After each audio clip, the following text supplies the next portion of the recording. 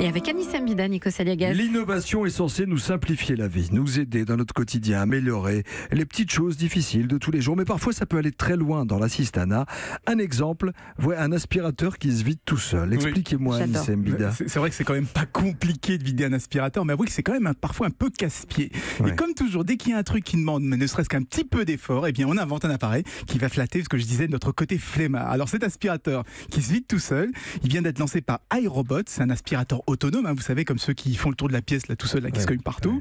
Sauf que leur nouveau modèle, il retourne à sa base, qui est en fait une poubelle, et il se vide tout seul. Voilà, ça c'est fait. Il y a aussi des rollers, je vois, anti-chute.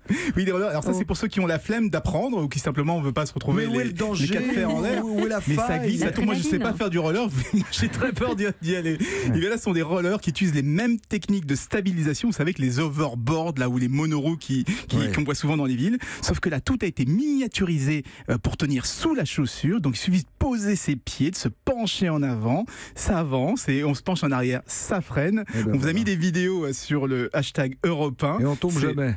Non, on tombe jamais. hein. C'est c'est vraiment très impressionnant. Mhm. J'ai j'ai des collègues qui l'ont essayé, ça a l'air casse-gueule, mais j'ai des collègues qui l'ont essayé, c'est parfaitement Ah stable. ouais. Ah, c'est. Alors impressionnant. ça. c'est assez cher, hein, c'est 400 euros, hein, c'est autant- vendu, hein. je préfère tomber. Euh, Il y a l'appareil qui prend des photos tout seul pendant la soirée. Alors ça, ça va, ça va être le con- Ça votre m'énerve. concurrent. hein. C'est un C'est- paparazzi c'est personnel, une petite appareil photo qu'on pose dans un coin qui détecte tout seul quand les gens s'embrassent, quand ils rigolent très fort, Oh là quand ils là. sont en train de se faire des câlins. Et hop, il se met à faire la photo. Et à la fin, il suffit de faire le tri. hein. comme ça, on choisit ce qu'on garde, ce qu'on garde pas. Ça s'appelle Google Clip. Donc c'est toutes ces innovations auxquelles personne peut-être n'avait pensé, mais qu'un jour quelqu'un a fini par inventer et qui flatte notre côté, un peu comme Céline qui dit peu tendance, c'est bien de rien faire. Oui,